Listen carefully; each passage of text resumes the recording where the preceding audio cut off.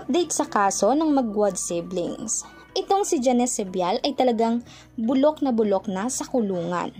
Dahil marami talagang mga tao ang naging kontra niya at kontra talaga sa kanyang ginawa. Hindi umano tapat at hindi dapat ilagay na rason na may kaukulan umano ito sa pag-iisip. May pagkukulang umano kaya nagawa niya iyon. Ang kanya umanong sakit ay talagang nagpapakita na kung saan makakagawa siya ng isang masamang bagay ay ikakatuwa ng puso niya o ikakaligaya niya. Hindi iyon dapat bigyan o palayain na lang basta-basta dahil ang pinagdadaanan ngayon ng mga magulang ng magwat siblings ay napakahirap.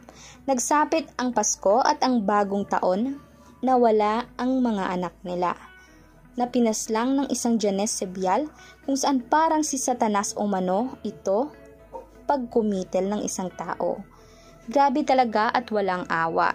Kaya sigaw talaga ng mga netizen at ng mga taong nakakakilala sa mga Magwood siblings na ibigay ang nararapat na parusa.